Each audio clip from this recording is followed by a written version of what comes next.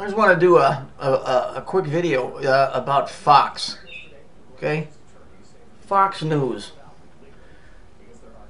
For those of you that have followed my videos, just understand that if you ever thought that there was ever a TV station aside from CBS, whose logo is the, is the eye, uh, the South Pole of Saturn, um, for those a little bit more knowledge, Fox's Fox's uh, logo is a a red and blue cube. Now, I taught you guys I taught you guys what the cube looked like and what it represents, but it's it's hiding another symbol, and that symbol is the it's the Kabbalistic tree of life. Now, Kabbalah is not associated really with anything good. It can be used for good, just like anything else. It's it's it's an it's an energy. It's it's a way of tapping into that thing that we are constantly always talking about on my videos.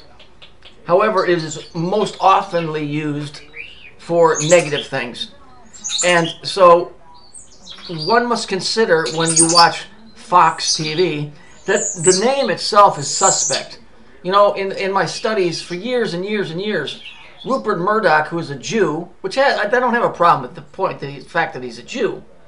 I do have a problem with the fact that it's not normal for people that are that into their religion or way of thinking to use something out of context. Now, I know that the cube represents the Kabbalistic tree of life, and the, and the pinnacle of that in, in, in a lot of the tree of life drawings that you'll see is actually Saturn at the top, which controls this planet.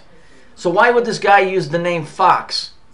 Okay, well, the, the circle with the X in it, remember the, the circle, I mean the cube, is made from an X. We connect the four points, we have an X box.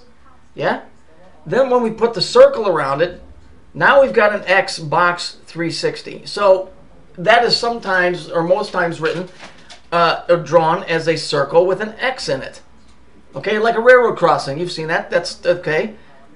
I couldn't figure out for the life of me what what is what is why are they naming this thing Fox?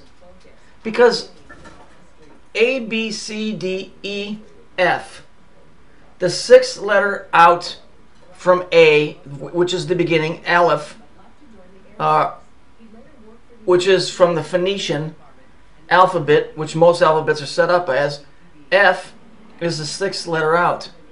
Saturn is the sixth planet out from the sun. And so when you look at Fox's logo, which is a cube, you have to ask yourself, are they being fair and balanced, or are they trying to lead us down the pathway to, to hell? Um, I think you should probably vote for the second one. There is nothing that's coming out of that radio station or that the station or anything that is owned by that station that is doing you any good. I could give a rat's ass about TV. I have my own opinion of where that's coming from. If you've seen my vi- uh, my videos, they all come from from hell or from L. That thing. Uh, so it really doesn't matter. But I'm just trying to get people to think on a, on a higher conscious level. If if the Kabbalistic cube, which represents the planet Saturn, and that is saying that that thing is God, that's what that's saying. That the planet Saturn, which is synonymous with Satan, is is the God of this world, which that's what Jesus said. He said, "I am not the ruler of this world. I go to a different place." Well, that only leaves one other guy.